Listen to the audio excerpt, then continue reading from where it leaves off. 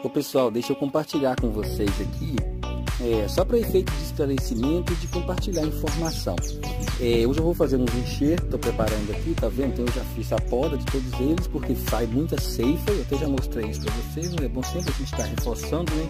Tá vendo aqui, ó? ó? Então antes de eu fazer o enxerto, eu faço esse corte aqui de forma aleatória, sempre eu deixo assim uns quatro dedos, tá vendo aqui? Para depois eu fazer o corte mesmo de eu fixar o enxerto. Mas essa planta aqui é uma planta diferenciada. Por que, que essa planta aqui é uma planta diferenciada? Eu preparei ela para eu fazer cinco cores nela. Então eu vou fazer a poda nela, vou fazer junto com vocês aqui, ó.